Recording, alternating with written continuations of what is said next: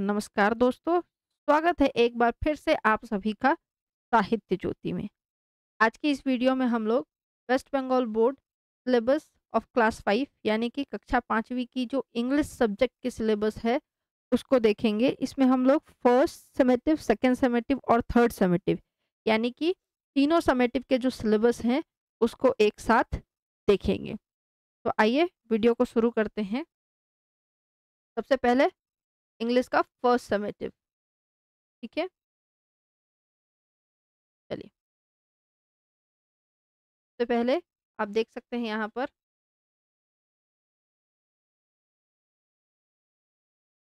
यहाँ पर जो है वो इंग्लिश हमारा सेकंड लैंग्वेज है, इसमें दो किताबें हैं, एक आपका बटरफ्लाई दूसरा विंग्स तो इसमें सबसे पहले फ़र्स्ट समेटिव के देखेंगे। फ़र्स्ट समेटिव में सबसे पहले आप लोगों का आने वाला है रीडिंग कॉम्प्रिहेंशन तीन। यानी कि यहाँ पे जो चैप्टर्स दिए गए हैं, जैसे सबसे पहला है रिवीजन लेसन, ठीक है? यानी कि आपने पिछले पाठों में, पिछले क्लास में जो चैप्टर्स पढ़े हैं, उसके ही कुछ रिविजन्स हैं, ठीक है? थीके? इसके बाद lesson one, Gandhi the Mahatma, और उसके बाद आप देखेंगे यहाँ पर लेसन टू, ठीक है? A feat on a feat, ठीक है? इसके बाद लेसन थ्री फूल मनीस इंडिया, यहाँ पे एपिस्टोफियस होगा फूल मनीस इंडिया। ठीक है? तो ये जो आपके तीन चैप्टर्स हैं, जो कि आपके फ़र्स्ट सेमेटिव में आने वाले हैं, इससे आपका एक तीन पैसेज आएगा, ठीक है? तीन पैसेज आएगा एग्ज़ाम में। इसके बाद हम यदि ग्रामर और वकैब्स की बात करें तो उसके अंदर आपका आएगा punctuation W H words sentence और इट्स पार्ट यानी सेंटेंस और उसके भाग। इसके बाद आर्टिकल आर्टिकल आप जानते हैं ए एन द और उसके बाद नाउन्स जेंडर यानी कि लिंग और प्रोनाउन ये आपका बटरफ्लाई से आने वाला है। किससे आने वाला है? किससे आने वाला है आपका? बटरफ्लाई से। ठीक है? आपकी जो बटरफ्लाई इंग्लिश की किताब है वो। और उसके बाद दूसरा आपका विंग्स है। विंग्स वाली किताब से आपको प्रैक्टिस करना है पेज नंबर वन से लेके फिफ्टी थ्री तक। ठीक है?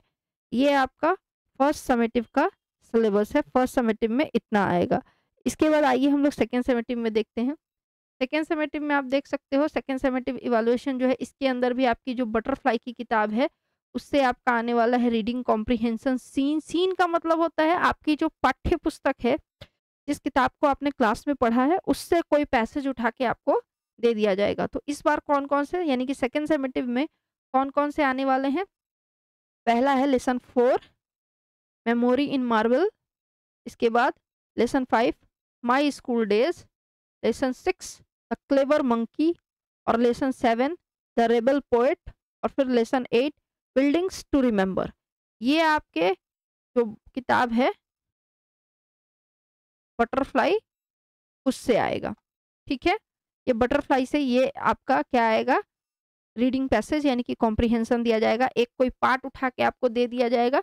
उसको पढ़ के फिर उससे क्वेश्चन आंसर्स रहेंगे, वो आपको सॉल्व करना पड़ेगा, ठीक है? वो पैसेज को पढ़ पढ़ के ही। इसके बाद अगर हम ग्रामर की बात करें तो ग्रामर में आपका आने वाला है adjective preposition sentence and it's part जो कि आपने फ़र्स्ट सेमेटिव में भी देखा था। Present continuous tense contracted forms linkers verb and its forms ठीक है? ये आपका ग्रामर में से आने वाला है। इसके बाद अगर हम राइटिंग स्किल की बात करें तो राइटिंग स्किल में से describing yourself dialogue writing story writing describe experience ये आपका राइटिंग स्किल में आएगा। और फिर जो आपकी दूसरी किताब है विंग्स विंग्स में इस बार आपको प्रैक्टिस करना है पेज नंबर फिफ्टी फोर से लेके वन थर्टी तक। ठीक है? इतना आपका सेकेंड सेमेटिव में आएगा। आइए अब हम थर्ड सेमेटिव की बात करते हैं। थर्ड समेटिव जो कि आपकी आखिरी एग्ज़ाम होगी, उसमें बटरफ्लाई से फिर से आपके आने वाला है रीडिंग कॉम्प्रिहेंशन इसमें आपका lesson nine birds eye lesson ten a great social reformer lesson eleven the finishing point और उसके बाद लेसन ट्वेल्व बियॉन्ड बैरियर्स ये आपका आएगा, ठीक है? इसमें से आपका सीन पैसेज आएगा। फिर इसके बाद मैडम चाहें या सर जो भी आपके क्लास में पढ़ाते हों, वो आपको रिवीजन लेसन थ्री और सेवन भी दे सकते हैं। इसके अलावा इस बार एक नई चीज़ रीडिंग कॉम्प्रिहेंशन में अनसीन पैसेज आएगा, ठीक है? अनसीन कहने का मतलब क्या है? अनसीन कहने का मतलब ये है कि कोई भी एक पैसेज जो आपने पहले पढ़ी ना हो, वो आपको उठा के दे दी जाएगी और उस पर बेस करके कुछ क्वेश्चंस दिए जाएँगे। उन क्वेश्चंस को ही आपको क्या करना है? पढ़ना है और पैसेज में से खोज खोज के आंसर लिखना होता है। ठीक है? तो इस बार एक नई चीज़ अनसीन पैसेज भी आएगी।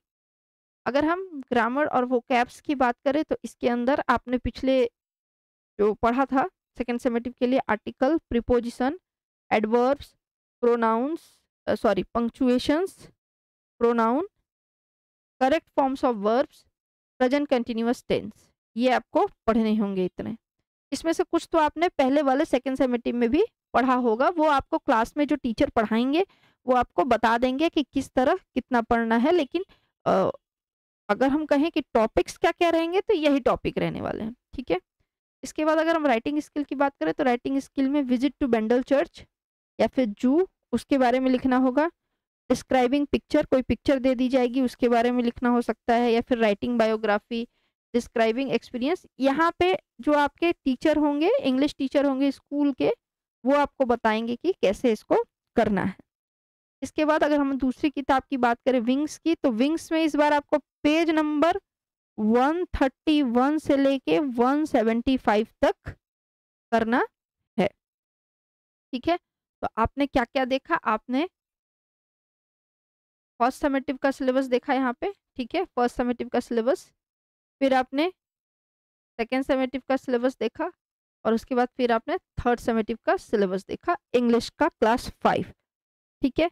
ध्यान रखिएगा, यहाँ पे जो मेन मेन टॉपिक है, वो मैंने बता दिया है, लेकिन टीचर्स इसको अपने हिसाब से ठीक करेंगे। आशा है आपको यह वीडियो अच्छी लगी होगी और इससे आपको अवश्य कोई ना कोई लाभ पहुँचेगा अपनी तैयारी को आगे रखने में।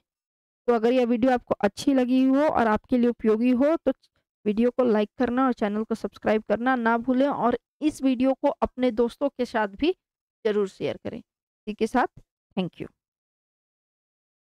आप सबका बहुत बहुत धन्यवाद।